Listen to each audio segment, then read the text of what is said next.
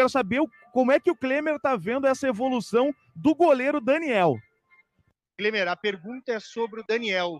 Como é que tu está vendo, ele hoje não está presente, mas como é que tu vê a evolução do goleiro que não tinha não tinha chances e aí acabou tendo as chances essa temporada e assumiu a titularidade? Olha, para é, quem não sabe, o Daniel foi meu goleiro lá na, lá na base. Né? Ele, ele, o Daniel foi meu goleiro no Sub-17, no Sub-20, no time B também.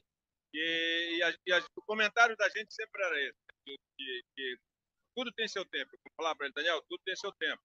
Trabalha, meu, meu filho. Você tem qualidade, é, você, você tem o dom de jogar, que a posição de goleiro tem que ter o dom também, entendeu? Então você tem um dom, tem tudo para vencer.